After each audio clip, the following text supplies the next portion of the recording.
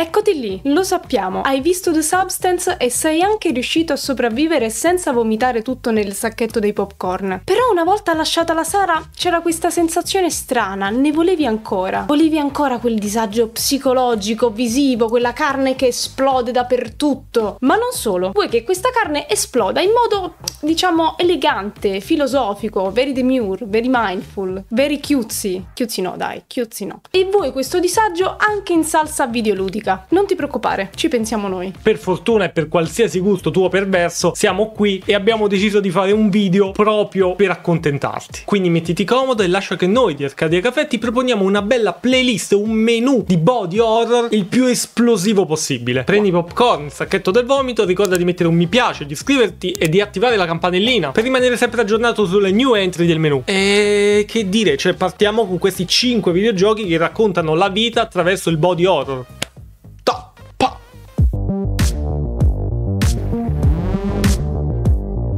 Forse The Substance ti ha fatto intuire che il body horror può essere anche un qualcosa che va oltre lo shock e che può raccontarti in modo metaforico qualcos'altro, anche di molto politico. Questo è esattamente quello che succede in Inside, pietra miliare del videogioco indie sviluppato da Playdead ed un giocone da recuperare assolutamente in ogni caso, che ti piaccia o non ti piaccia il body horror, che tra l'altro neanche di un horror si tratta, ma è un gioco che sa come solleticarti l'ansia, ecco. Ci troviamo all'interno di uno scenario distopico e vestiremo i panni di questo bambino senza nome e senza faccia con un maglione rosso, intento a scappare da dei poliziotti. Tu ti domandi che cosa avrà fatto questo bambino per scappare da dei poliziotti? Probabilmente non ha fatto niente. E nella nostra avventura, andando sempre più a fondo in questa città distopica dove non capiamo che cosa sta succedendo, ci rendiamo conto di essere all'interno di un sistema molto simile a quello di 1984, dove i corpi vengono controllati, le menti vengono controllate e neanche noi col protagonista potremmo scappare da questa cosa. Saremo costretti a soggiogare gli altri per andare avanti avanti. Ma non vi dico nient'altro perché non voglio farvi spoiler e dovete giocare assolutamente Inside. Ma perché lo dovresti giocare soprattutto se ti è piaciuto The Substance? Innanzitutto qui il tema della spersonalizzazione è praticamente centrale. Non solo vestiamo i panni di un personaggio principale senza faccia, ma tutte le altre persone, tutti gli altri modelli 3D saranno esattamente uguali a noi. Il gioco è completamente silenzioso e a parte i rumori ambientali ci sarà ben poco da ascoltare. Inside, come ogni distopia che si rispetti, riflette anche sulle tematiche dell'omologazione e del valore valore della diversità e lo fa proprio attraverso il body horror, soprattutto nel finale. Ma shh,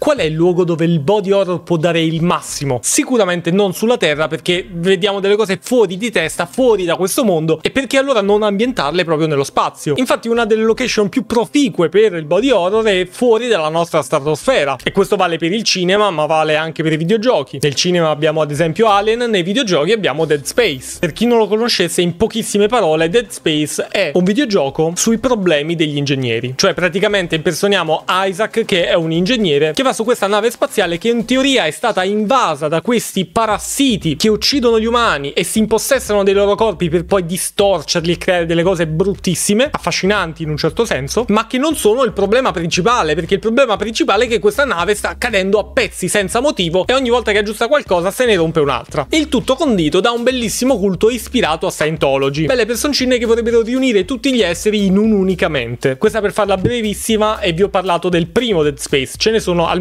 tre. È un remake. Però il nostro consiglio è di giocare i primi due perché il terzo, a meno che non lo giochiate in cooperativa, non è proprio geniale. Comunque il punto principale per questo video sono i mostri che escono dalle fottute pareti di questo gioco. I necromorfi. Questi parassiti che appunto sfruttano il corpo umano per assumere delle sembianze, ma non si accontentano delle stupide sembianze umane e cercano di potenziarle, soprattutto facendogli spuntare tanti arti che noi nei panni di Isaac gli dovremo tagliare. Però ce ne sono davvero di tutti i gusti. Ci sono quelli mezzi volanti, quelli tipo scorpione, i bruti e tante cose pustolose anche. Ma non vi ho parlato del lato psicologico di Dead Space perché non c'è solo il terrore fisico, quest'unicamente interferisce anche col cervello di chi viene a contatto con questi mostri. Cosa ha in comune con Substance? Il concetto che entrare a far parte di quest'unicamente dovrebbe essere la versione definitiva dell'umanità, quindi la versione migliore di ognuno di noi, che è proprio il tema portante di The Substance.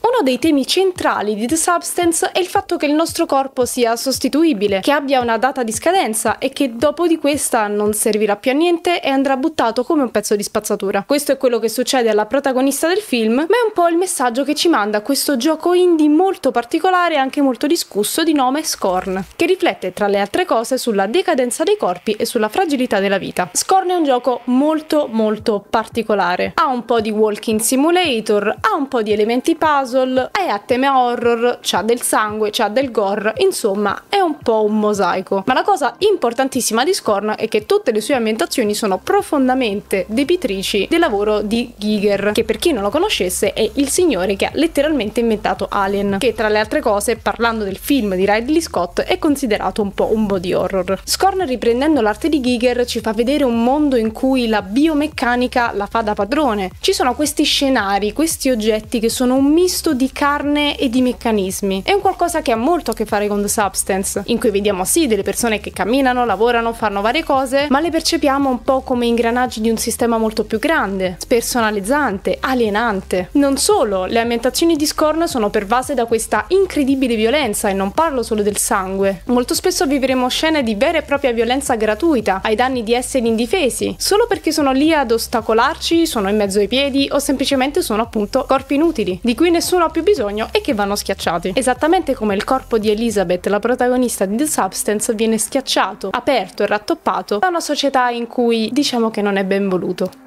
torniamo a parlare di saghe. Questa, vabbè, se videogiocate almeno di nome la, la, conoscete, poi è uscito anche un remake proprio l'altro giorno, Silent Hill. E anche qui, come Dead Space, il body horror ci fa paura sia in senso fisico sia in senso psicologico, ma in un modo un po' diverso. In Silent Hill è molto più importante l'approccio al proprio inconscio, alle proprie paure, ai propri limiti e in molti casi ai propri disturbi, ai propri traumi. In Silent Hill possiamo vedere depressione, ansia, disturbi alimentari e li possiamo vedere non solo nei personaggi principali e secondari, particolari, ma soprattutto nei mostri e nelle ambientazioni, che sono la proiezione delle menti distorte dei personaggi che incontriamo. A livello di design dei mostri, forse quello più vivido, più body horror, più dismorfico è Silent Hill 3, ma anche gli altri non scherzano, perché appunto questo body horror ha un contesto psicologico che lo rende ancora più pauroso. Quei mostri non sono schifosi per il gusto di essere schifosi, ma rappresentano fisicamente dei traumi. Vi faccio un esempio molto forte, quindi state attenti. C'è questo boss che fisicamente è uno stupro, cioè ci sono queste due persone incastrate in una porta, insaccate in un involucro di carne. E questo è un essere che si muove e che dovremo combattere.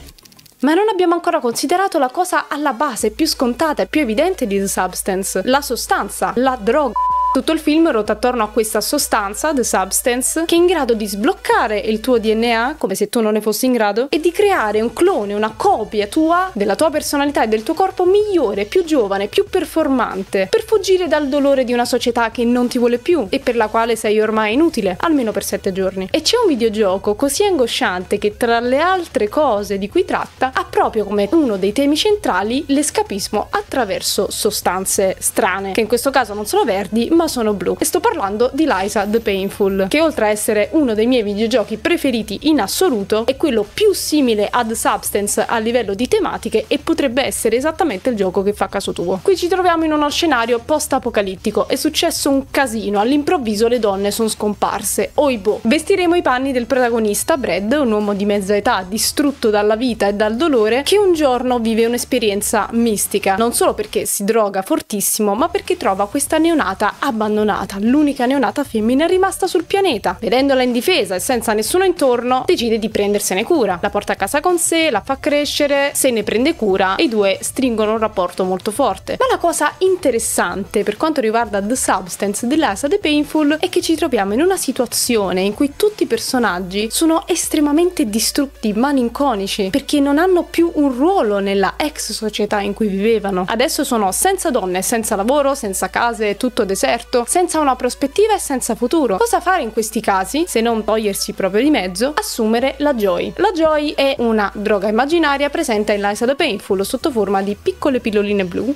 che, come descritto dal gioco, non ti fa provare più nulla, né dolore, né depressione, ma neanche la felicità, la gioia, sentimenti positivi, nulla, il grigio più totale, pur di scappare da una realtà in cui si sentono stretti e persi. C'è solo un piccolo effetto collaterale, piccolissimissimissimo, ovvero che l'abuso di Joy ti trasforma in questo coso qui. Questo è un Joy Mutant, un ammasso di carne esplosa da una persona dipendente dalla Joy che non potrà mai più tornare indietro, che perderà la sua umanità sia a livello fisico sia a livello psicologico, mentale, a livello di lingua, di parole, tutto. Praticamente per scappare dall'olore la soluzione è diventare la cosa di Carpenter, cosa di Carpenter citata ampiamente anche da The Substance. Ma col nostro caro film Liza non ha solo in comune il tema della sostanza, ma anche quello della condizione femminile. E direte voi, ma in un mondo dove ci sono solo uomini e dove ci sono solo maci, eccetera, eccetera, come posso parlare di condizione femminile? Giocalo, non ti posso dire tutto io. Vai e recuperalo, così almeno posso parlarne con qualcuno che nessuno lo conosce sto capolavoro. È incredibile.